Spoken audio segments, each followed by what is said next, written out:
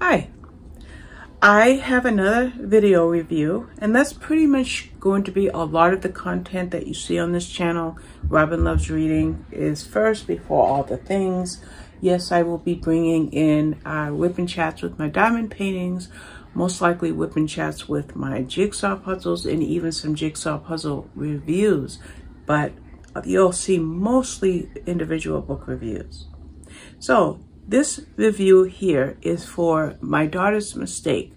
Now, it's by Kate Hewitt. It's a women's fiction, very, very emotional story where a young girl named Maddie, I think Maddie is 16 or 17 years old, hits little Amy Rose with her car.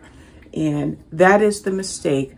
But the thing is, well, first of all, Maddie, uh, Amy Rose is has been put into a medically induced coma and her parents are beside themselves. Her mother is actually a single mother. Her mother's name is Jenna, but she does call Amy Rose's father. So they are hoping that their daughter will get well. But the story is really focused on two characters, Jenna, Amy Rose's mother, and Ellen, Maddie's mother.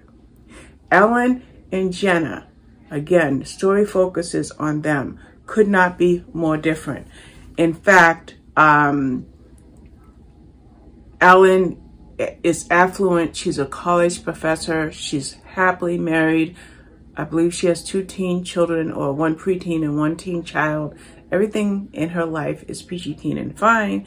Whereas Jenna is a struggling single mother with a past and a history, a history that could come out now that she's in the public life because her daughter has been injured. Then the story has another layer. The layer that the story adds in is Maddie. Maddie is the teen that hit the little girl and what Maddie's trials are. I don't really want to talk too much about what Maddie is going through because I don't want to bring in any spoilers, but it does bring in uh, a very serious nature more than the accident I hate the glare that I see in this picture from the nice sunny day. I'll try to move it, the blinds. Anyway, uh, Maddie has a very serious problem.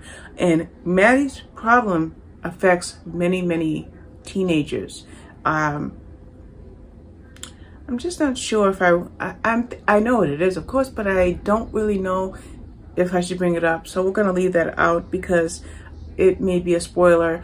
But what it does is it shows that the author, Kate Hewitt, she has a knack for putting readers into the driver's seat so that you can kind of get into the lives of these people. You're getting into Men, uh, Jenna's story. You're getting into Ellen's story where her marriage is starting to crack at the seams because her daughter committed, you know, hit this little girl.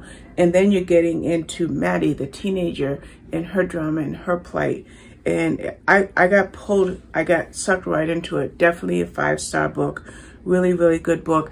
And I did look up on Goodreads to see how many books of um, uh, Kate Hewitt's I've read, and this makes an even dozen. Yes, 12 books I've read by her, and any books that she writes are going to be excellent. Uh, this review is pretty much over. All my reviews, I think, will be five minutes or less unless I do a series review. So that's it for My Daughter's Mistake. Highly recommended.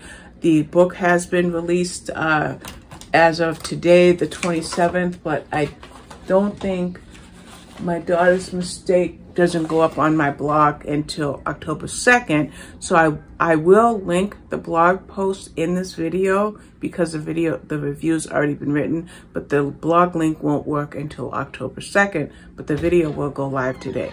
So that's it for now. Thank you. Bye-bye.